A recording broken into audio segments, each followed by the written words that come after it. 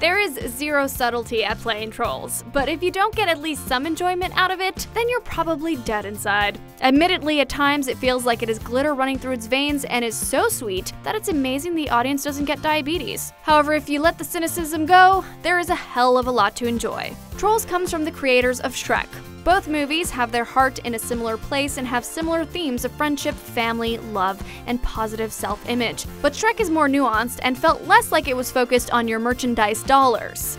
Trolls gives off a needy vibe that it not only desperately wants to be your kid's favorite new movie, but also a franchise. That said, you can forgive that because it is impossible not to lap up every peppy second. The movie is basically about the enthusiastic and almost freakishly positive Poppy, voiced by Anna Kendrick, and the grumpy and negative Branch, voiced by Justin Timberlake, who set off on an adventure to rescue a group of trolls who have been captured. The voice cast is as impressive as it is large and boasts an eclectic mix of talent. While the quality is high, at times it feels like there are a few too many characters. In between the heartfelt dialogue and all the jokes, there is what seems to be a relentless stream of original and well known songs that span most genres. Parents will need to get used to this, replacing Frozen as the heaviest rotation album on their car stereos until Frozen 2 comes out. Troll suffers from all the issues I have pointed out, but it still somehow manages not to feel messy or contrived or dumbed down. This is a smart movie in many ways, and it is an absolute blast from start to finish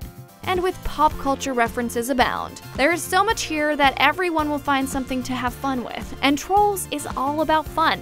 Think of this as a kid's party where all the little darlings are off their face on sugar, but you know that the parents have got loads of beer in the cooler to make sure you get your own buzz going on too. Trolls is exhausting, exhilarating, and highly entertaining. For more movie reviews, keep it on IGN. I'm gonna let you slide with a fist bump.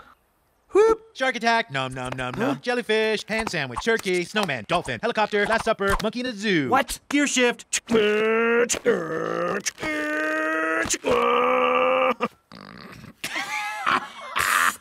okay, okay, okay. Now I'm thinking we hug. Yeah! That's right, you better run, Cloud!